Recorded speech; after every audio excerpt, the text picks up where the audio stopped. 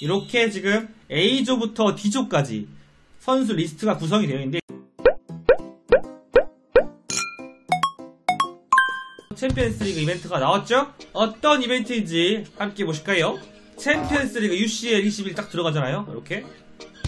그러면은 정말 어, 싸가지 없게도 상점으로 안내를 해요. 현질해라! 자식들아! 뭔 이벤트 이벤트냐! 현질해라! 네, 이렇게 첫 번째로 이렇게 첫 번째 이렇게 안내를 합니다. 이렇게. 그러면은 여기에서 뭐 이렇게 팩 여기서 1800 FB를 이렇게 소모하면은 이렇게 뭐 선수 A조 선수 주겠다. TP도 주겠다. 이렇게 일단은 안내가 되어 있고요. 그 다음에 옆에 거 보면은 자 1600을 주면은 토큰을 주겠다.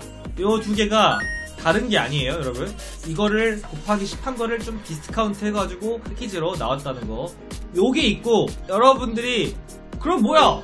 아무것도 아니잖아. 저것도 아닌 이벤트구만. 퉤! 이렇게 생각할 수가 있습니다. 그렇죠? 그런데 말입니다. 챔피언스 리그 이벤트에서는 자세히 읽어보지 않으면 알 수 없는 비밀이 준비됐습니다. 지금 보시죠. 선수 교환에 들어가시면 여기 보시면은 UCL GS21 교환이 있습니다.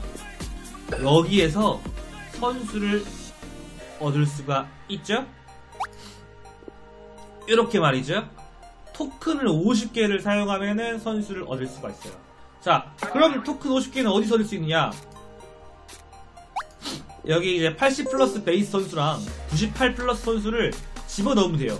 교환을 누르잖아요? 그러면 토큰이 5개에서 50개까지 여러분 얻을 수가 있어요. 맨 오른쪽에 있는 거는 98 선수 10개 가져와라. 그 다음에 85 플러스 베이스 선수 10개 가져와라.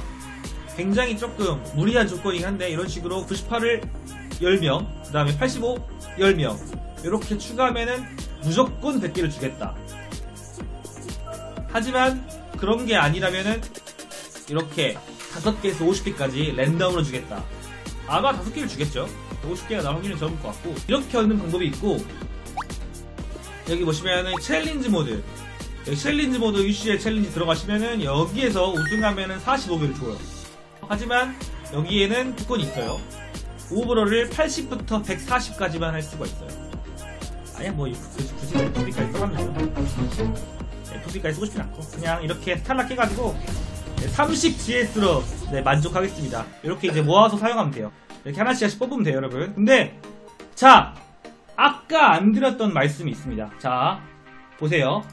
이렇게 지금 A조부터 D조까지 선수 리스트가 구성이 되어 있는데 지금은 A조만 뽑을 수가 있어요. A조. 내가 봤을 때 A는 좀 좋다라고 느껴지는 친구는 여기 쿠르투아. 쿠르투아는 피파 모바일 시리즈에서 안 좋았던 적이었거든요. 쿠르투아. 그 다음에 여기 워커. 워커. 그 다음에 반다이크. 살라. 저는 여기 나와버려요.